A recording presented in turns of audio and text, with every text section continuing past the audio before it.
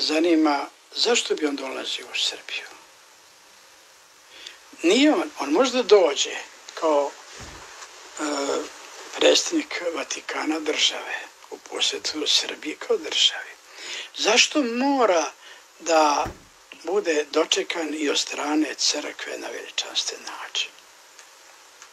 Znate, on kao verski poglavar ne može da dođe, jer on nije nikakav verski on je tek jeretik i sektaš. A želja da se približimo njemu jeste izdaja pravoslavlja.